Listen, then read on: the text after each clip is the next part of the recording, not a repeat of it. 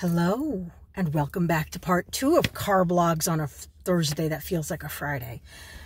Another joyous part of being Barb, which I realized, is that when you go into places, if you're polite and you ask questions, people give you stuff. So I just went to one of the two local libraries, which I originally was told were on separate systems, and actually will accept the same library card. So that was a nice surprise.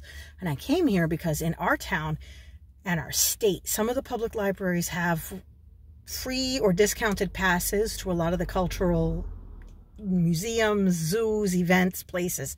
So, uh, as my friends and I were planning a trip next weekend to a local zoo, uh, the Connecticut Beardsley Zoo, which is in Bridgeport, Connecticut, uh, you know, it's $19 a person if you're not a member of the zoo itself if you get one of these passes, it used to be free.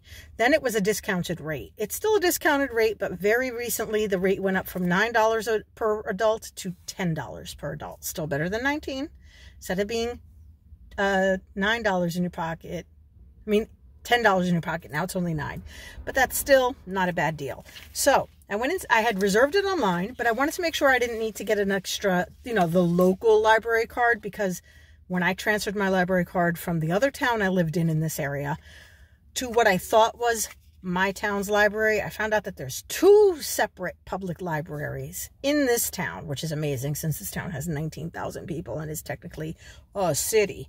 Man, there's a neighborhood in some parts of New York where I grew up, but I digress. So the first one I went to, which is closer to where I live, they were telling me, well, we're a Carnegie library. We're not technically like the public library paid for by the municipality.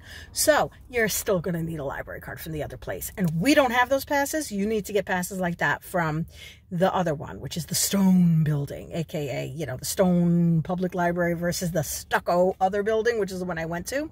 They were very polite. We had a great time. I signed up for some stuff. I rented a book, took it back after I read it. Everything was happy. So this library here is the one that is down the street from what I used to jokingly call my almost dream house that we went to go see an open house, but didn't really work for us when we got inside because my husband's like, did you see the water line in the basement? How high the water once was in here. We're not buying this. And uh, yeah, so I can see the school that is between that house and this library where I'm sitting here in the parking lot next to the building. But I went inside and I just wanted to confirm what was what.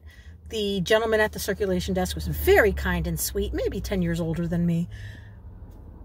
He was very smiley. I'm happy when people are smiley at me. He gave me so much stuff.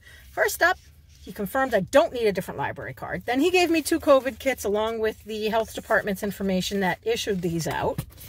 He gave me information for the specific pass for the library passes in general, the bookmark with their hours, and their newsletter for the month that has their hours as well. So now I am the purveyor, I'm sorry, the proud owner of all these wonderful free things, great conversation, and a verbal tour of the library. So now I will take these things home. I will feel like I accomplished something other than my little go to the doctor, get this procedure done, stop and get food on the way home and go back home. Everything was delayed by stopping to take business calls while on the road, plus rush hour traffic. Because again, today's Holy Thursday, which is the beginning of a three day weekend, because a lot of places are recognizing Good Friday and giving their people off for that day. So, with that in mind, I am across town from my house and I need to be there to turn my computer back on because I know I'm going to be working till at least 6 because this lunch hour became uh, more of a lunch hour and a half. I gotta go. I'm lucky I didn't upload the other one, the other video yet, because now I can try and stitch you guys together.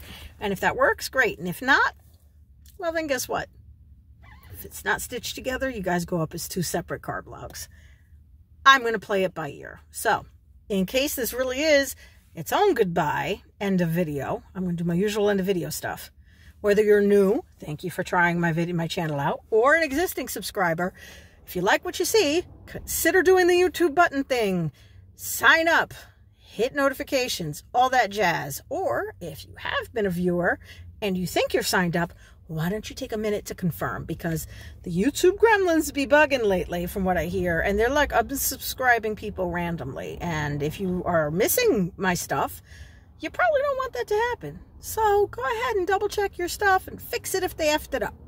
Oh, okay, I'm going to go now because if I turn the vent on in the car or open the window, this is a pretty busy block in town, all you're going to hear is road noise. And that's not chill. So enjoy your holiday weekend if you celebrate. And if you don't, just enjoy having a three-day weekend if you have one. Peace in the Middle East and elsewhere on earth too. Bye-bye.